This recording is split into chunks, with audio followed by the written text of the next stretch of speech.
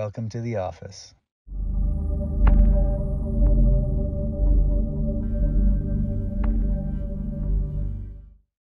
So, you're coming here from Chicago, Yeah. originally from Jersey. Yes. What's the issue?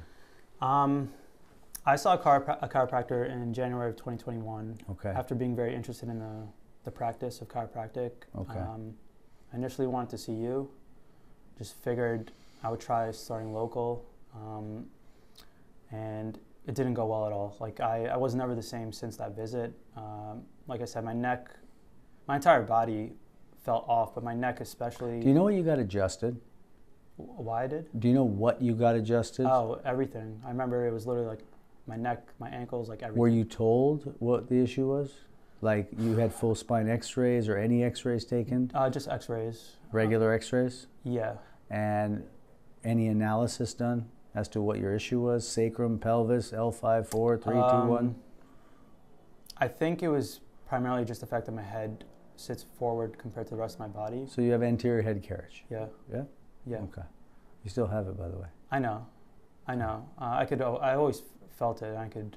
Yeah. It's been a problem for many years, but it never. I never had issue because of it. Whereas, after that, after those two visits uh, with that chiropractor, um, that's when they like when I had issue. Like I never had issues with spine anything. And I used to hear a lot of people having back pain, neck pain. I was just like, that's on So why did you go? just about a year uh, a year prior, um, a friend of mine was seeing a chiropractor. He's like, he told me that oh, one of his legs lengths were different, and I, I kind of suspected I had the same thing. So I was just curious about it. I went to a local guy, two visits, Mm. um, the same one that my friend went to, and nothing happened. Like I didn't think of anything of it. It was just it was a cool experience. I was like, oh, this is cool. You had that experience, then you went to somebody else after that? Yeah, um, I waited quite some time. I tried uh, holistic PT, uh, like Mhm. all types of PT, like trigger point therapy and the rest of them. It wasn't like your typical. It was one-on-one PT. Okay. um, because I was very traumatized by chiropractic care after that experience. I saw another chiropractor in New York. Uh, he really helped me out um, with my neck. He got rid of the, the neck pain. He got rid You of can turn now? now I can turn both ways. Every now and then I'll have like a little bit of discomfort, but before it was like compromise where like I couldn't turn. Whereas now it's like I can full turn even if I feel something. Mm-hmm. Here's what we're going to do. So, right now, your major complaint, just so we're clear, Yeah. today is what? The major, like in terms of pain or discomfort. Um, it's a focus on my neck. Uh, my left shoulder clicks. Um, Okay. I, every now and then I'll get like a weakness or discomfort in my wrist. Um, I feel like my grip strength, especially my left hand, is off. That's all five six, by the way. Okay. Okay? And I've seen, yeah, I've seen your adjustments where like people The notice grip. a big difference right out, like Yeah, short in a short time. Um, that's the magic, dude. Yeah, my wrist, this left wrist just clicks in a way. Okay. Um, I developed plantar fasciitis, I'm pretty sure, after that chiropractic. right visit. side, left side. Both sides. Um, I've never had that in my life. Uh, I thought, I, I assumed was maybe after, just after those bad adjustments. They just I don't think Me. that you developed it after, but I think you're you were developing it anyway. I think Okay. whatever happened, uh, you're feeling things more now, or maybe you're a little more off balance, Okay. or maybe you're off balance and you're still off balance. Yeah. Does that make sense? I want to be straight with that. You don't develop fascia plantar fascia that fast. Uh, Yeah, I, fig- I was because it was over the course of a year. I was like, maybe it was, maybe it did. Maybe I was just set that poorly that it took a short time. But that's another complaint I had with Okay. you. Okay, plantar fully- fasciitis, clicking in the shoulder, weakness. Down my Paresthesia, left, like left side? Yeah. Anything on the right side? No, um, no. It was always the left side, and then the neck. Okay. Yeah. Um, Low back, Thank you for reminding me. Um, lower right side. lower right side, pain, discomfort. Um, not pain. There's more discomfort. Let's go over your foundation and let's see what are some of the things we're seeing. This is the right side, this is the left side. You can see that you have a measured deficiency or a, me- a short leg on the right. Yeah. You can see that the pubic bone does not line up with the crease of the bum, it's going the opposite way of the short leg. Okay. Um, you can see that the actual hip sockets are wearing out. Okay. For your age, there should be a lot more space in there. So let's look at your sacrum, and we do have a bent tailbone, dude, and it's starting right here at S5. Mm. So you can see this thing is bent right there, yes? Yeah. It's tilting right here. yeah. And it's tilting this to the right side. The whole sacrum tilts to the right. You Mm. do see that? Yes, I do see it. Okay, let me put the numbers up so now we can see better. This is a significant leg length inequality, dude. And this is what we have to discuss and see what's correctable and what's not. Okay. You have an ASIN on the left with a rotated sacrum on the left. You had some good tailbone injuries, whatever whatever stuff you were doing. Okay. Okay, I um, don't recall anything, but yeah, I see that. they were old injuries. Yeah. These were back back way back when. Yeah. If I see this sacrum, it's rotated on the left and the pelvis is also off on the left, but you have a seven millimeter deficiency of the sacrum on the right. Mm. So this is what's happening with your pelvis or your foundation. The left pelvis goes up one, which is Mhm. fine, it's okay, Okay. but it goes in. It turns and rotates this way to Okay. the left side. Okay. The back side turns into the sacrum. Okay. So the, the pelvis is turned in and the sacrum is rotated back. Right. So the overall effect is your spine wants to go which way?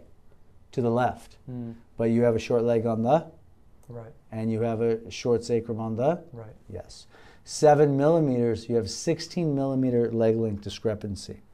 Right. The actual difference is 13. Okay. And that means if we correct your left pelvis, then we're able to get three of that corrected.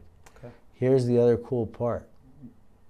Whether it's going to happen or not, that I don't have the answer today. Okay. You have seven, millim- seven millimeters of this is coming from your tailbone. Okay. So this, this needs to be under seven. We have a structural and functional short leg on the right side. We have a short leg on the right from a pelvic misalignment and a sacral, they call it sacral malformation. Okay. And we'll see how you respond within two adjustments. Sure. And then I can tell you are things going to be corrected. Okay. I can't say that because the research doesn't really support that, Sure. but I have hundreds of cases Sure. that, that get fixed. Sure. I just don't know until we start. Right. Fair enough? Yes. Okay. So that's your main issue, dude. And that's number one. Okay. Now, here's let's look at the overall spine. And we have a slight curve to the right. You see that, yes? Yeah. And it's curving on the side of the short leg. A heel lift may be indicated for you. We may have to put a heel lift on that right side for stability for all this to hold. Meaning a lift. This is a heel lift. And this goes under the insole of your right shoe. Okay. And because remember, we got to get that under seven. Is this a temporary thing? No, it's not a temporary thing. If it's not correctable, ain't nobody going to fix your posture, dude. This is mechanics. It's basic mechanics. Your building, your foundation of your building is tilted on the right. Okay. What do you have to do? Right. Just like a building. Right. Straight up, dude. Okay. I'm sorry, I got to be straight. That, that, but Yeah. that's it. Anyone tell you otherwise, if they can't fix the imbalance, you need a lift. Okay. Okay. That's it. Okay? Yeah. Sorry, not sorry. I understand. Okay? I got I got to be straight.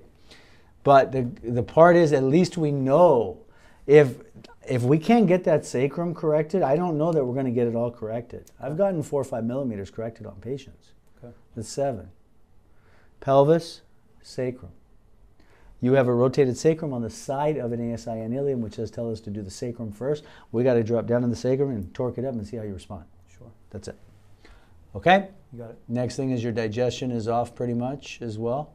This is the magenblase here. This should be a big half circle. Mm-hmm. Okay, and then we should have, uh, we're looking at the ascending colon. You could be absorbing and assimilating, assimilating a lot better than you are. Okay? Okay. Now, here's the fun part, dude. You have a side slip here. That's why your neck isn't fixed. Um, Your C5, C, so we have a short leg on the right. mhm. But then when we go to your mid back, you had some traumas here. And the reason I know that is you have a couple of side slip vertebrae. And I'll explain what that is in just a second. Sure. This, if we look here, uh, T1, 2, 3, 4, 5, 6. Mhm. And this is the one that controls digestion. C, T7, okay? T8 and T9 line up, the, the bodies of the vertebrae. T7 is a side slip. Okay. It's slipped to the right side, okay, Mm-hmm. with misalignment. But then six goes the opposite way. Five goes the opposite way. So they're doing this. Okay. seven, six, and five are all zigzagging. Okay. There's no stability there. So those muscles are all getting tight trying to hold it in place. Okay. So you get a lot of your stuff in here. I don't know if you feel I don't anything. feel it. No. Okay, well then here's the interesting part. I'm not going to open a can of worms up today. But do you see what I'm showing you? This one for sure is slipped, but these are little subtle ones. It's starting at T7. I, Uh, yeah, okay. Talk to me. Yeah, maybe I noticed it subconsciously, but it, it doesn't. It never affected me, if that makes sense. Um, I think you've dealt with it for a long time. Yeah. I think you've been dealing with this stuff for a while. You just kind of you Right. deal with it. Right. You accepted it. Okay? Okay. We have jaw deviation right to left. Jaw deviation right to left when you open your mouth. Your upper cervical is good. Let's go to your side profile. Let's give you the good news and let's give you the. Yeah, there it is. So when we're looking at the tailbone, it should be a smooth arc. You got a kink and a nub here. Mm. Okay? Yeah. This was an injury, dude. Okay. This was an injury. There's a nice nub kink there. Then let's look at the disc. L5 tilts back, 4 tilts back, 3 tilts back, 2, 1, 12, all the way to 11. Okay. So from T11 to, from L5 to T11 is all compensation. You really shouldn't be getting any of that adjusted. So all of this Mm-hmm. from, from here all the way to here, that's all compensation from that low back. Okay. So I know I ain't supposed to touch any of that right now. Okay. So if we go closer now at T11, you saw what I showed you on that X-ray. Yeah. So T11 is the next level here. So this is 12, this is 11. Mm. Now from 11, the next one that goes off is going to be what?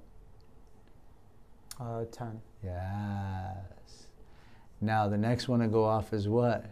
Nine. Nine goes the opposite, takes everything with it. You see Mm. that? Right. So if 11 is our level, 10 goes off. Wait, hold on. Nope, never mind. 11 is, is in balance with. Twelve. 10 Uh, is in balance with Oh, that. ten. Okay. So let's go here. Is that in balance?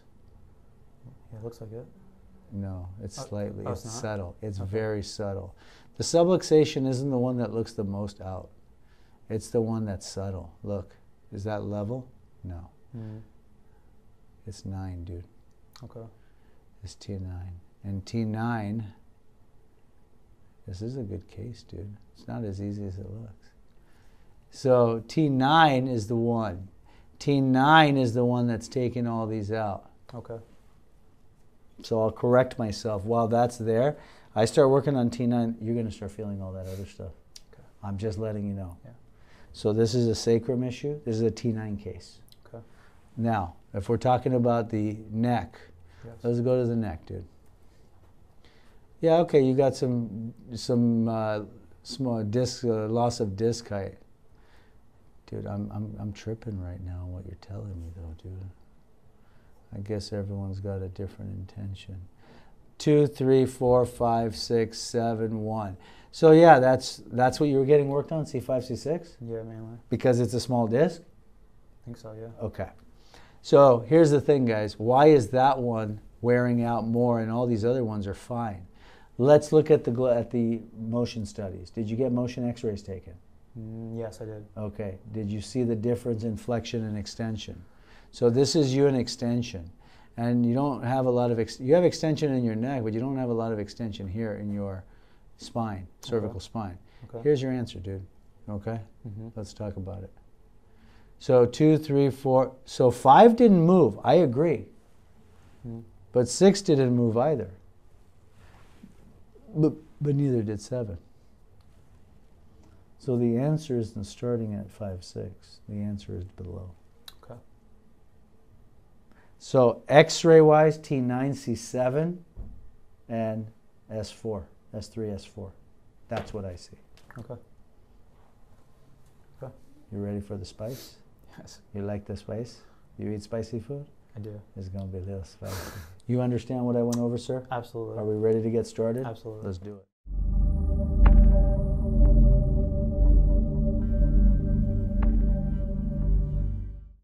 How's it going? Welcome back. Thank you, man. It's going well. Very it's, well. it's round three. Yes. Have a seat. We need to have a conversation. Yes. So we started filming that first visit, and for some reason we lost a little bit of sound. Yeah. So we're gonna recap just a little bit. Sure. Well, we're gonna get straight to the exam and talk about results. Okay. But the main question I have is when we're looking, we talked about your foundation, Mm. and you came in for neck mainly, Yeah. back, neck. I mean, you had some stuff, Yeah. but your main issue was Like my neck and my left arm, I'd say. okay. Yeah. Any change in your neck and left arm since we started? This is visit number three. Um, I don't have any sh- um, discomfort in my neck, like sharp pains or anything like that come and go. Uh, like you said, it all starts at the foundation. You didn't touch my neck. Um, I haven't touched. I neck. started to notice that like I feel like a little bit of a not even a soreness, but I feel like like like you said, clearly we didn't even go near my neck, but um, I feel like I'm walking different. Uh, You feel something is shifting, like you're using different muscles, or yeah, your posture, that's exactly what it something is. is shifting. Exactly. Okay, and um, you did go to a couple guys, and Yes. that's fine. You're coming from Chicago, Yes. originally from New Jersey, Yes. and the main thing I want to talk about. I'm just going to recap the X-ray for a Sure, second, sure. okay? And when we look over here, guys. Sorry, when we look over here, folks, this is what we see. He has an ASIN with a rotated sacrum on the left side. He has a seven millimeter uh, sacral malformation, is the terminology that's used, but it means that we know he had a tailbone injury.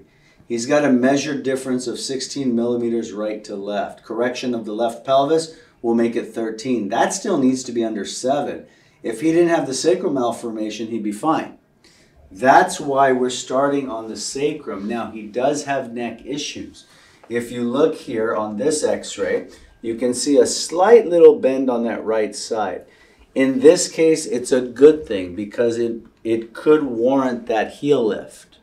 And you asked me, is that a permanent thing? It may be. Okay, and what's the other option? Getting adjusted every week or twice a week? No. The idea is we stable the foundation, then the things up here we can deal with. He does have a mid back issue, he does have neck issues. But as we, on the first visit and even the second visit, when we adjusted his tailbone, all this started to clear up. So let's see what we got today. Okay? Mm-hmm. This case, everyone, I want to share something. Okay, this case is is it is a difficult case. Um, you know, looking at it just without any any any markings. You know, we do the Gonstead pelvic analysis, but looking at a case like this, taking a full spine, but you have to go a little bit deeper and detailed into the examination of not just the patient but the X-ray. And the X-ray to me, it tells the story. It's a picture in time. It tells me how the person has evolved since birth. It even tells me a little bit how you were inside the womb. Mm. And there are a lot of doctors that can look at it this way. And one of the things we talk about here with everybody is we spend the time, you know, going over the x ray. We spend the time that first visit really communicating what's going on here. And you know, there's that. I remember that movie Hitch. Remember that? Did you ever see that movie Hitch with Will Smith? Yeah. What do you say? Seventy percent is body language, twenty percent is tone, ten percent of the words that come out of your mouth. Mm. So I'm gonna share a little secret with everybody. Mm. I listen a lot in the conversa- in the consultation, Yeah. but I'm doing the ninety percent over the ten percent Mm. because the ten percent you already put in your intake form. Exactly. Smile, dude. I, yeah, I am. He's smiling on the inside. You ready? Absolutely. Let's do this, dude. Thank you. Starting at the base of the neck. Dunu. Dunu. It goes to the left, 25 points. Goes to the right, 20 points. Goes to the left, 15, 18 points. Breaks at the top. A lot of chatter. You're right. Things are shifting around, sir. Mm. A lot of different swings going on. Mm. And when you see that on the scope, or when, sorry, when I see that on the scope, Right. tells me that muscle activity is firing.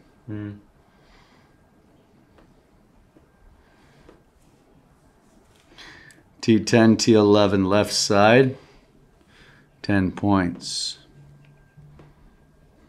Doo doo, doo doo. We're doing good here, dude. We're doing good. Four points.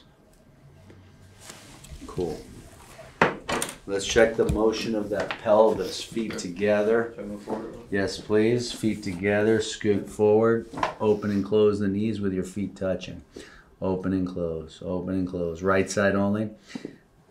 Good. Left side only. Left is a little bit different, dude. Right side only. It's a little bit different. We can actually compare this to the first visit. Mm. Okay. Scoot back for me, please.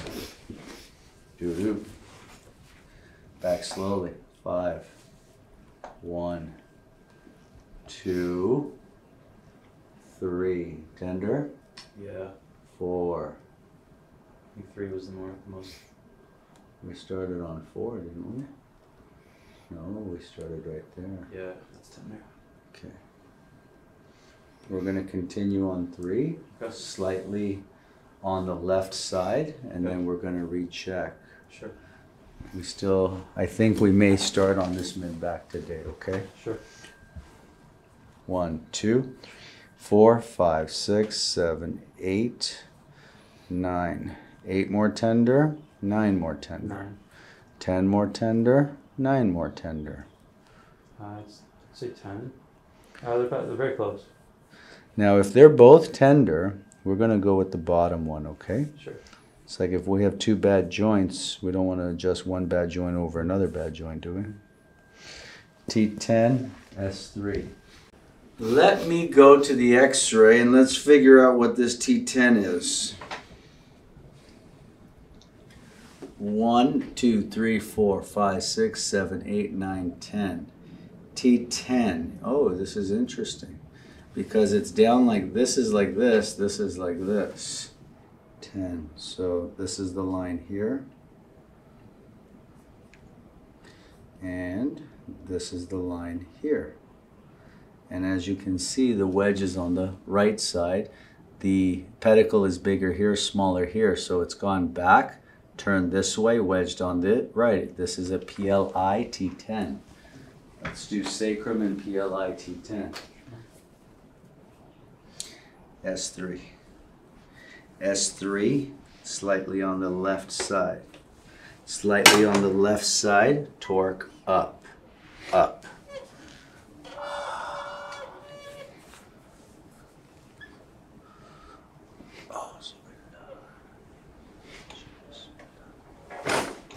Nice. Very nice. Not as crunchy today. Yeah. I think it's time for the Cobra. We're gonna get a little bit of the Cobra today. There we go. There you go. So, still on the sacrum. Actually, we're not doing the Cobra. We're gonna do a. We gotta get a lot of torque in it. Sure. Okay. Let it roll. Let it roll forward, forward. There's the rest. Nice. Gotcha. Come on up. Walk it off once, please, or twice. And then we're gonna go on the knee chest table. Okay? Yep. And we said we got a PLI, so we're gonna be on the right side today. Right side. Two, three, four, five, six, seven, eight, nine, ten. Ten spinous. We're going to the side right on the transverse. And we're setting it through.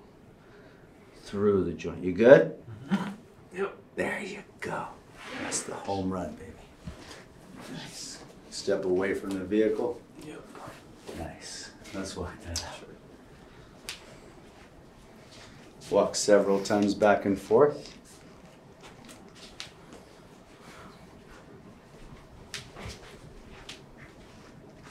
Diferente. Just, it felt like it was just a good adjustment. I don't know. it's- Okay. Have a seat.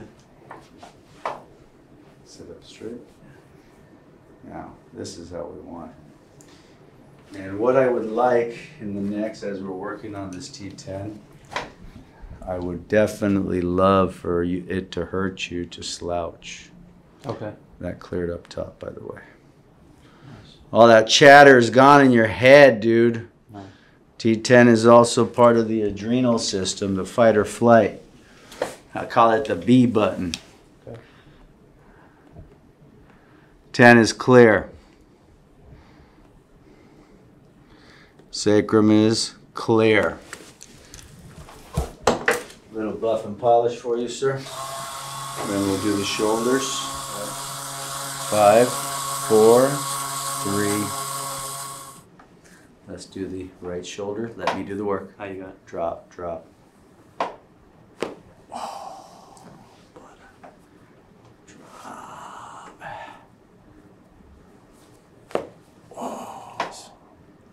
Deeper today. Yeah. Stand up for me, please. Mm-hmm. Squeeze the hand. Solid. Squeeze. We ain't messing with it. Okay. I think we're gonna do a little nose job today. Sure. On your back over here, please. Alright, this may be a little pinch, okay? Sure. Chin down. Mm-hmm. Chin down. So it's a little tight. There. Right to left. That's it. Breathe in. And out. Go ahead and sit up for me, please. Sure. Walk it off one last time. So we're gonna regroup now. I'm off tomorrow. You got it. I'm gonna regroup on Friday Okay. and Swiss. Okay. Yeah. We'll regroup on Friday.